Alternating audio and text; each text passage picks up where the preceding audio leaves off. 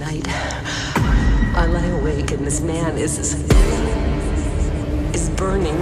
Every waking moment he haunts me. He's coming. I know he's coming. I see someone else in the fog by the lake, and he's holding something. Who is he?